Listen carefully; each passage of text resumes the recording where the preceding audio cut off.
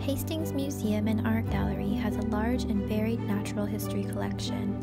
One of the most interesting objects is this duck-billed platypus.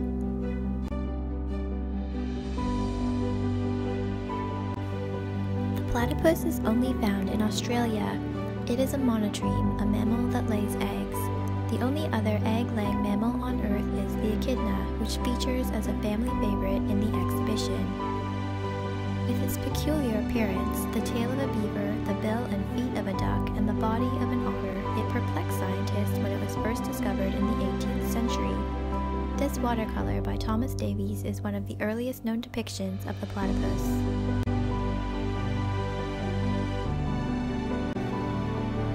The platypus is a small animal averaging about This platypus skull from our collection is 10 centimeters long and demonstrates its strange facial structure.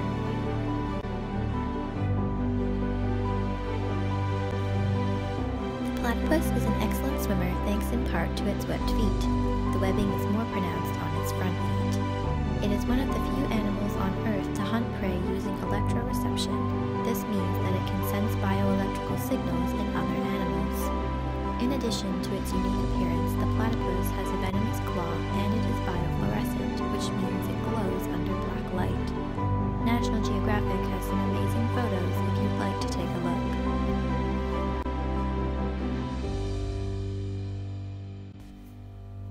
This platypus was probably taxidermied in the early 20th century. Taxidermy has a long history in museums, being used for display and scientific study. Taxidermy is very prone to damage. Our platypus was in need of repair after years of being in storage.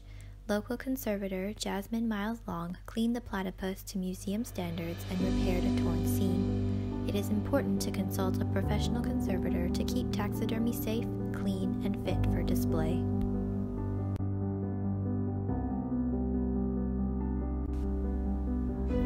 Like many species in the exhibition, the platypus is legally protected. The major threat remains human disruption to its habitat. Thankfully, many conservation efforts are already in place, enabling future generations to appreciate this most wonderful and bizarre of creatures. We too are working to preserve our platypus so that audiences in Hastings don't have to travel so far to see one up close.